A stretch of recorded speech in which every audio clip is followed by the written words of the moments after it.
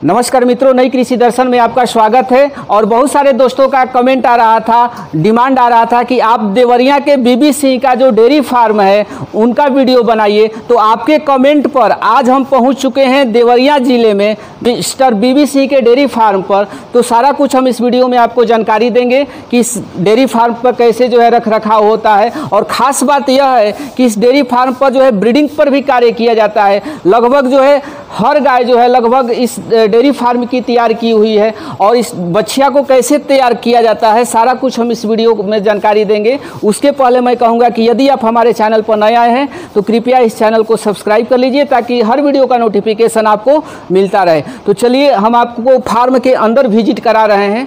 आप देख सकते हैं। फार्म के अंदर ये गाय है। गायों के थन की बनावट आप देख सकते हैं।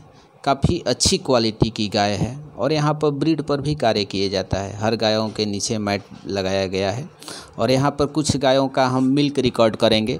जो दो दांत और चार दांत की जो गाय है, पहली बार जो बच्चा दी है, उस गायों का हम मिल्क रिकॉर्ड करेंगे।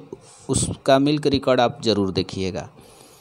और यह वीडियो काफ़ी महत्वपूर्ण है, इसलिए आप इस वीडियो को अंत तक देखिएगा। काफ़ी महत्वपूर्ण जानकारी डॉक्टर बीबी सिंह के द्वारा दिया गया है। कि डेयरी फार्म को कैसे चलाया जाता है कौन कौन सी बीमारियाँ होता है कैसे उसका बचाव किया जा सकता है। तो चलिए इस फार्म के ऑनर से हम बातचीत करते हैं कि कैसे इस फार्म को रन करते हैं। नमस्कार सर। नमस्कार। आपका हमारे चैनल पर स्वागत है। सबसे पहले आप अपने हमारे दर्शकों को अपना थोड़ा नाम बता दीजिए और ये फार्म कहाँ पर स्थित है वो बता दीजिए। ये फार्म माई मेरा नाम जो है डॉक्टर वी सिंह है। जी। मैं यहाँ से 12 किलोमीटर दूर बड़गुनिया का रहने वाला हूँ। जी। और डाखाना थाना गौरी बाज़ार है देवरिया जनपद है। जी। यूपी में हम लोग रहते हैं। और ये डेयरी जो है वो आज बत्तीस तैंतीस वर्ष हुए। जी। मैं रिटायरमेंट के बाद चला रहा हूँ। जी। और ये डेयरी से जब तक किसी का लगाव नहीं होगा प्रेम नहीं होगा तो तब तक डेयरी नहीं चलेगी। डेयरी का मूल मंत्र है कि आप जानवर से लगाव रखिए प्रेम रखिए उनसे उनको देखिए कि क्या दिनचर्या है कौन सी गाय क्या चाहती है। उस तरह का रख रखाव उस तरह का खान पान ज़्यादा ब्रीड की जो गाय हैं तो उनको आपको अच्छे ढंग से रखना होगा पानी पर ये पंखा वगैरह की व्यवस्था करनी होगी मैट देना हो होगा। नहीं तो वेटेड गाय होती हैं उनका घुटना खराब हो जाता है थन कट जाता है इसलिए मैट की व्यवस्था आवश्यक है। हर पशुपालक को बिना मन जो भी पशुपालक हैं जी जी। वो कम से कम दो काम ज़रूर करेंगे। एक थर्मामीटर और एक सिरिंज ज़रूर रखें। जी। तो क्योंकि बीमारी एडवांस होने पर एडवांस डॉक्टर नहीं मिलता है। एक डॉक्टर के बदले पाँच डॉक्टर ज़िले में दस डॉक्टर भी हों और यहाँ सैकड़ों हज़ारों की संख्या में गाय ओनर्स हैं तो उनको आप कहाँ से इलाज करा पाएँगे? तो टाइम से नहीं आएँगे। उनसे सलाह लेकर के किसी अच्छे पशुपालक से सलाह लेकर के आप उनका ट्रीटमेंट कर सकते हैं। दूसरी बात यह है कि ट्रीटमेंट के लिए इस फिजियन जगत में जहाँ ब्रीड की वो है कि हाई हर हाई ब्रीड जो है आपका, अपने स्तर से बड़ी जब उनकी ब्रीडिंग बढ़ती जाएगी जेनेटिक्स बढ़ता जाएगा जनरेशन ऊँचा होता जाएगा तो वो उतना ही मिल्किंग काऊ होती जाएगी। लेकिन उसमें यह है कि रख रखाव आपका सही होना चाहिए। हर रोग का उपचार भी, हर अगर पशुपालक अनुभव वाला है तो हर रोग का उपचार भी है। जैसे, फॉर एग्ज़ाम्पल जैसे गाय को थनैला बहुत होता है। जहाँ 20 गाय 25 गाय 50 गाय 100 गाय दूध देती हैं तो वहाँ दूध जब आप छनवाएँगे तो हर गाय के दूध से जब लरछा आएगा तो आप तत्काल दवा कर देंगे तो वो क्योर हो जाएगा। जब क्योर हो जाएगा तो वो बीमारी ख़त्म हो जाएगी। डीप करना है उसको, थन को, दवा भी आती है, जो डीप कर देने से वो थनैला होता नहीं है। तो थनैला से इस तरह से बचाव हो जाएगा। दूसरी बीमारी ये होती है कि इनको निमोनिया हो जाता है, जीभ निकाल के हाँकती हैं। तो उसमें डॉक्टर जो है एक आज इंजेक्शन लगा के गया और फिर दो दिन चौबीस, छत्तीस घंटे के बाद आया। तो वो सुबह शाम दोनों टाइम इंजेक्शन लगेगा एंटीबायोटिक से लेकर दर्द बुखार का, तब वो कंट्रोल होगा। उसी तरह से बीमारी है आपकी किसकी? ये आपका नान गाभिन होने की। तो गाभिन नहीं होती हैं गाय, इसका कारण है, जो ओनर है वो लापरवाह है। ओनर लापरवाह है इसी स्थिति में जब गाय बच्चा देती है तो फ़र्स्ट हीट में जब आती है तो उसको आप दवा डलवा के छुड़वा दें। नेक्स्ट हीट में आप उसको सीमेंट डलवाएँ। और सीमेंट पर ध्यान दें कि उनका नाइट्रोजन सही है कि नहीं है। अगर नाइट्रोजन सही नहीं है तो इस पर मर जाएगा और फिर गाय कंसीव नहीं जो करेगी। एआई वर्कर है सर उनका नाइट्रोजन चेक हाँ उनका नाइट्रोजन चेक करना है। उनका देखना है कि कितने टेम्परेचर पर वो डालते हैं। जी। 101 डिग्री बॉडी टेम्परेचर है। 101 और दो के आसपास डेढ़ के बीच में ही उस वो जो सीमेंट डालते हैं नाइट्रोजन से निकाल के तो पानी का वो टेम्परेचर होना चाहिए। तो उस टेम्परेचर के बाद ही उसको फिर जो है एक मिनट उसमें रख करके दो मिनट तब फिर उसको सीमेंट डालना चाहिए। तो सीमन जो सर आता है जी। तो उस सीमन का बहुत सारे हमारे पशुपालक भाई जो है नहीं पहचान पाते हैं कि ये कौन सा बुल का नहीं उस पर सीमेंट का नाम लिखा रहता है। जी। बुल का नाम लिखा रहता है कै परसेंट का है वो लिखा रहता है। यह तो उनके इंटरेस्ट पर इन्वॉल्व करता है। अब रह गई बात कि गाय बच्चा देने में क्या तकलीफ़ होती है? तो कभी कभी बच्चा ही फंस जाता है डॉक्टर परेशान होता है ओनर परेशान होता है बच्चा मर जाता है गाय मर जाती हैं उसके लिए सीधा सरल उपाय है। एक उपाय है वो ये है कि गाय के जैसे ही बच्चा देना शुरू करे और जैसे वाटर बैग उसका निकले बाहर। तो बच्चे का पैर पकड़ के धीरे से आहिस्ता से गाय के ताकत लगाने के साथ साथ अपना सहयोग करके खींच के बाहर कर लेना उसको आगे रख देना गाय को खड़ा कर देना कि वो फिर प्रोलेप्स केस वगैरह ना हो तो इसलिए यह जो है जब आप स्वयं जागरूक रहेंगे तो तभी यह संभव है।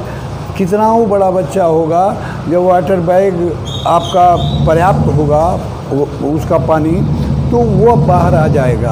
अगर आप लेट करेंगे कि डॉक्टर आएगा तो निकालेगा, ये करेगा, पानी कहीं निकल गया तो डॉक्टर के मान का भी नहीं है। बड़ा मेहनत करते हैं लोग, बड़ा खींचातानी करते हैं, उसमें बच्चा मरता है, गाय भी मरती है। तो इसलिए ओनर का एक्टिव होना बहुत ही आवश्यक है। तीसरी बात यह है कि गाय जो है, दूध कैसे देगी, क्यों देगी? तो दूध देने के लिए, उसके लिए आपको अगर हरा चारा मिलता है तो सो फार सो गुड अगर हरा चारा नहीं मिलता है तो उसके लिए आपको मिनरल और कुछ लिवर टॉनिक आप गाय के फ़ीड में इंक्लूड करना पड़ेगा। ठीक है? कीड़ी की दवा जहाँ तक है लोग मानते नहीं हैं देहात में साल साल भर नहीं देते हैं बीमार पड़ती है गाय जो पतला दस्त करने लगती है तो उसके लिए भी है कि आप हर तीन महीने पर डिवर्मर दें और वह जो है गाभिन गाय का अलग है ब्याई का अलग है बड़ी गाय का अलग है छोटी गाय का अलग है वेट के अनुसार उसका भी डोज है। तो यह सारी चीज़ें जब तक उसके नॉलेज में नहीं आएगी वो सीखेगा नहीं जानेगा नहीं और गाय बाँध के के डेयरी चालू करेगा तो वो डेयरी फ्लॉप होगी। चलेगी नहीं। आजकल के नौजवान जो है सीखना कम चाहते हैं और ज़्यादा पैसा बटोरना चाहते हैं। तो पहले समय लगता है सीखने में। कोई भी काम करने में और सीखने में टाइम लगता है। जब आप परफेक्ट हो जाएगा हो जाएँगे तो आप अपने आप पैसा आपके हाथ आने लगेगा। उसमें कहीं कोई दिक्कत नहीं। इस तरह से जो भी जागरूक पशु हैं, उनकी डेयरी ही केवल चलती है। जो डेयरी जागरूक नहीं हैं, जो पढ़े लिखे नहीं हैं, वह सारी चीज़ों के बारे में समझते नहीं हैं। वो नहीं समझते हैं तो उनकी गाय फ्लॉप करती हैं, फेल होती हैं, गाभिन नहीं होती हैं, बीमार पड़ती हैं, दवा कराना पड़ता है, सारा सारा पैसा डॉक्टर लेके चल जाता है। गाय के दाम से अधिक पैसा खर्च हो जाता है तो फिर ऐसी स्थिति में आपका कहाँ से भरा बंद हो जाता है। हाँ तो इसलिए आपको चाहिए एक चेन भी मेंटेन करना। जैसे आपके पास 20 गाय हैं तो 10 गाय बराबर दूध दें 10 गाभिन रहें। और इस तरह से गाभिन रहें कि ऐसा ना हो कि एक बैग सूखा हो जाए एक बैग दूध हो जाए तो फिर आपकी डेयरी का पैसा कहाँ से आएगा उनको खाने के लिए? तो तो, तो घर द्वार खेती बाड़ी बेच के खा जाएँगे इतना खाती हैं। उनको मेंटेन करने के लिए उसमें चेन बना के हर दो महीना चार महीना पर एक गाय को हम ड्राई करते रहें एक को बच्चा लेते रहें। इस तरह से चेन मेंटेन रहेगा गाय के लैक्टेशन का तो फिर आप हमेशा स्वस्थ रहेंगे और दूध मिलता रहेगा पैसा आता रहेगा। इस तरह से बहुत सारी चीज़ें हैं जिसके बारे में जैसे कुछ एक बीमारी है टीआरपी हो जाती है। टीआरपी कहते हैं कि वो कील काटी खाली है तार खाली है और वो गाय बचेगी नहीं। डॉक्टर का ये कहना है कि यह गाय मर जाएगी। तो ऐसी स्थिति में दवा दारू करते हैं फिर वो मरी जाती है। तो उसके बचाव के लिए मैंने एक उपाय सोचा है वह है भूसा धोल करके गाय को खिलवाएँगे। तो निश्चित रूप से वो उसमें उस गाय को उस डेयरी में टीआरपी की बीमारी नहीं होगी। इस तरह से तमाम रोगों के से बचाव के लिए इस प्रकृति ने व्यवस्था बनाया है लेकिन आपकी जानकारी होनी चाहिए। बच्चा देने के एक माह पहले सर गायों का किस तरह से रख रखाव किया जाए? क्या मतलब उनको खिलाया जाए पिलाया जाए ताकि वह बच्चा देने के बाद उनका मिल्क प्रोडक्शन जो है अच्छा हो और वह गाय जो है जेर आसानी से निकाल दे? क्योंकि बहुत सारी समस्या होती है सर कि लोग ध्यान नहीं देते हैं बच्चा देने के पहले। और बच्चा जब देती है गाय तो देर जेब निकालने में भी समस्या होती है और बच्चा निकलने में भी समस्या होता है। हाँ, तो- तो इस समस्या का कोई घरेलू या कोई देसी उपचार है कि नहीं? पहले के युग में लोग बाँस का पत्ता धान वगैरह खिला के जी, जी, निकाल हाँ, लेते हाँ। थे। तो पहले के युग में हरा चारा पर्याप्त मिलता था, गाय चरती थी, देसी नस्ल की गाय होती थी, उनके शरीर में भरपूर एनर्जी एग्जाई हो जाता था। तो वह बच्चा आसानी से निकालती थी, यह बीमारी नहीं होती थी। लेकिन आजकल फ्रीजियन को ये जो 30 litre 25 litre 32 litre 40 litre 50 litre दूध देंगी, उनके लिए आप सही रख रखाव नहीं करेंगे। उनको उचित डाइट नहीं देंगे आप डॉक्टर से सलाह नहीं लेंगे तब तक आपका भविष्य उज्जवल नहीं है। अब गाय के लिए वह देखना पड़ता है कि गाय को पहले ब्यात में कौन सा आहार देना है क्योंकि गाय की उम्र कम है। अगर दो दांत की बच्चिया है तो दो साल उम्र है और दो साल की उम्र में वो बच्चा निकाल रही है तो उसका स्वास्थ्य बढ़िया नहीं रहेगा उसका भोजन बढ़िया नहीं रहेगा उसका मेंटेनेंस उसको संतुलित आहार नहीं देंगे। और संतुलित आहार में एक ही चीज़ है जो आपका हरा चारा भी नहीं है तो उसको पूरा करता है वो है मिनरल कोई भी मिनरल किसी भी कंपनी का आप दे सकते हैं। कितना ग्राम सर? तो वो प, कम से कम 50 ग्राम और लैक्टेशन काऊ का दूध के अनुसार 10 ग्राम पर 50 ग्राम फिर 15 ग्राम फिर अरे सौ ग्राम फिर डेढ़ सौ ग्राम। जैसे जैसे दूध बढ़ता जाता है उनका वह का नाम है कि डोज जो है मिनरल का बढ़ता जाता है। कैल्शियम कितना देना चाहिए सर? नहीं कैल्शियम देखिए कैल्शियम कोई ऐसी चीज़ नहीं है। कैल्शियम तो वही क्या है चीनी है और रंग डाल के पानी डाल के लोग कैल्शियम बना देते हैं। वो सबसे काम नहीं चलने वाला है। मिनरल खिलाइए उसमें कैल्शियम फास्फोरस एक जानवर को जो भी जिस मात्रा में चाहिए वो सारी चीज़ उसमें उपलब्ध होता है। इसलिए मिनरल मस्ट है। उसके बाद आपको यह देखना है कि गाय नौवें महीने में है। तो तमाम दवाएँ हैं जो डॉक्टर बताते हैं, जैसे मार्कोलाइट है, मेटाबोलाइट है, ये सब प्रेगनेंसी के 20 दिन पहले दिया जाता है। जेल वगैरह है, तमाम पिला दिया जाता है। तो उनकी मैच्योरिटी उनके वो बॉडी का इम्यूनिटी डेवलप हो जाती है। और जब इम्यूनिटी डेवलप हो जाती है तो वो आ, आराम से बच्चा निकालते हैं जेर भी निकाल देते हैं फिर समय से गर्म भी हो जाते हैं। लेकिन इसका मूल मंत्र है केवल मिनरल मिनरल अगर आप नहीं देंगे तो आपके पास कोई न कोई दिक्कत परेशानी आपको खड़ी हो सकती है। इसलिए मिनरल तो बारह महीना आ, एक बछिया से लेके आप बड़े जानवर तक आपको खिलाना है अगर स्वस्थ रखना चाहते हैं तो। तो ऐसी स्थिति में हर रोग का निदान है। जैसे आपके गाय का पक्के पर बाँध देंगे स्लिप करेगी हाथ पैर टूट जाएगा सुनने में आता है कि घुटना सूझ गया। तो उसके लिए आजकल जो आधुनिक युग है उसमें फर्श करा के मैट डाल दिया जाता है तो ये सब संकट नहीं आता है। इसलिए गाय के प्रति जागरूक रखना उनकी सर सफ़ाई रखना उनका हर दृष्टिकोण से स्वास्थ्य के प्रति जागरूक रहना ये आवश्यक है। और जब तक यह काम नहीं होगा ये आपकी डेयरी हमेशा फ्लॉप होती रहेगी। इसलिए तीन चीज़ें आवश्यक हैं। Breed feed maintenance and prevention. Breed कहते हैं जाति आपके गाय की अच्छी हो फ़ीड कहते हैं, भोजन आपका अच्छा हो। तीसरा है मेंटेनेंस आपका रख रखाव जैसे उसमें का नाम है कि ऐसा हो जिसमें गर्मी कम लगे, गाय आराम से रहे, उसको ऑक्सीजन भरपूर मिले। ऐसा नहीं कि ब्लॉकेज करके आपने बना दिया, गोदाम की तरह से उसमें गाय रख दिया, सारी गाय कार्बन डाइऑक्साइड अपना ही गैस छोड़ेंगी, अपना ही निकालेंगे, अपना ही फिर लेंगी तो जानवर बीमार पड़ जाएगा। गायों को भी टीबी की बीमारी होती है लेकिन कब होती है? जब उनको ऑक्सीजन भरपूर नहीं मिलती है। जी, जी। तो ऐसी स्थिति में उनको सही रखने के लिए आपका मेंटेनेंस वो रख रखाव आपका अच्छा होना चाहिए।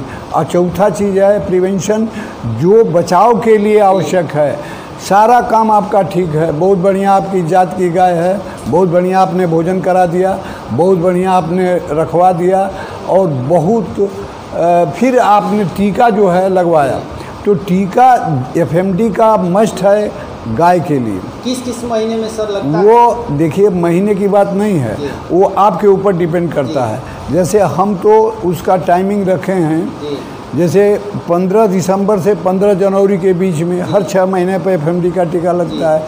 तो उस पीरियड में जब टीका लगेगा तो उस समय दूध की डिमांड भी कम रहती है और गाय दूध भी काफ़ी देती हैं। तो उनका थोड़ा बहुत दूध उस पीरियड में जब टीका लगता है दो चार दिन कम बेस होता है। तो उसका कोई फ़र्क नहीं पड़ता है आपकी गाय फिर मेंटेन हो जाती हैं उनके अंदर बॉडी इम्यूनिटी इक्कीस दिन के बाद फ़ायदा अपने आप हो जाता है। तो उस टीके से क्या लाभ है? उस टीके से ये लाभ है कि आपकी गाय को एफएमडी की बीमारी खुरपका मुहपका की बीमारी। इससे बहुत सारे फार्म जो है बंद भी हो हाँ हाँ तो उसमें ऐसा है कि एक गाय को होगा तो सारी गायों को इन्फेक्शन हो जाएगा। आप बचा नहीं पाएँगे। वो इस तरह की बीमारी है जो बहुत तेज़ी से आग की तरह से फैलती है और सब जानवर को हो जाता है। तो जो दूध देती हैं उनका दूध बंद हो जाता है। जो गाभिन हैं वो बच्चा निकाल देती हैं। और जो छोटे बच्चे हैं वो मर जाते हैं। तो इस तरह से पूरी डेयरी आपकी फ्लॉप हो जाती है। और उस ये चारों चीज़ों का एक ही मूल मंत्र है। ये चार तो आवश्यक चीज़ें हैं। Breed feed maintenance and prevention लेकिन इसका मूल मंत्र है आपकी जागरूकता। ये चार ताले हैं चाबी कैसे लगेगा? तो मास्टर की जो है आपके हाथ में है। वो जब आप समय से धोआएँगे समय से नहलाएँगे समय से नाश्ता देंगे तब जाके ये संभव है। ऐसे नहीं है कि आप बैठे हैं कुर्सी लगा के, आपके वर्कर्स काम कर रहे हैं, आप क्या कर रहे हैं, उल्टा सीधा जो भी कर रहे हैं, आप उसके बारे में कुछ नहीं जानते हैं। वह चलने वाला नहीं है, ज़्यादा दिन नहीं चलेगा। इसलिए आपका इंटरेस्ट इन्वॉल्व होना सबसे पहला काम है। बिना आपके इंटरेस्ट इन्वॉल्व के न उसकी दवा हो पाएगी, न उसकी जानकारी होगी।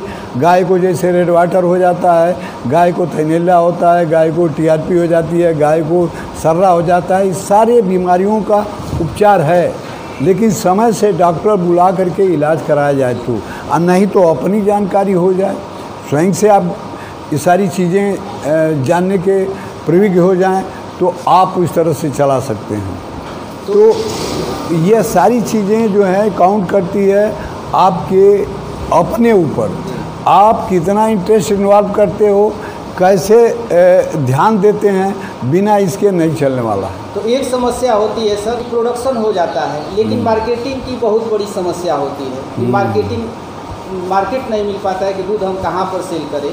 तो कुछ आप ऐसा कुछ अनुभव बताइए ताकि आज के जो युवा हैं जो डेयरी फार्म किए हैं हाँ। या करना चाहते हैं तो मार्केटिंग वो कैसे पकड़े?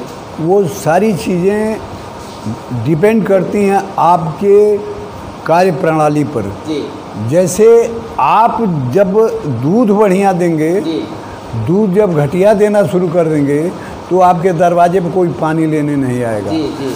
कोई भी दुकानदार या पराग या कहीं भी दूध देंगे तो वो निश्चित रूप से आपसे बढ़िया दूध चाहेगा, जिसका एस एन एफ़ बढ़िया हो, जिसका प्रोटीन बढ़िया हो, जिसका फैट बढ़िया हो, वो चेक करके तब दूध लेते हैं। उस हिसाब से दूध का दाम देते हैं। तो इसके लिए आपको अपने जानवर को मेंटेन करना पड़ेगा। जब जानवर आपका स्वस्थ रहेगा, तभी स्वस्थ दूध और बढ़िया दूध दे पाएगा। बीमार जानवर से आप कितना उम्मीद करेंगे? तो इसलिए आपको सबसे आवश्यक चीज़ है, दूध कहीं भी देंगे। अब हमारे यहाँ से तो ग्वाले भी 25 25 लीटर 30 30 लीटर दूध ले जा करके जी जी वो तो हम देखें। हाँ ले जाते हैं। तो इसका मतलब कि वो पानी लेने नहीं आते हैं दूध लेने आते हैं। जो भी आपके यहाँ आता है वो दूध लेने आता है। जब पानी आप देना शुरू करेंगे तो आपके यहाँ कोई नहीं आएगा।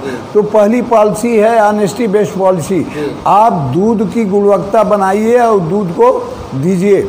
और दूध जब आपकी गुणवत्ता युक्त होगा जब सारी चीज़ें उसमें एक मानव शरीर के लिए देखिए दूध की यह विशेषता है कि दूध जो है मानव के लिए एक वरदान है।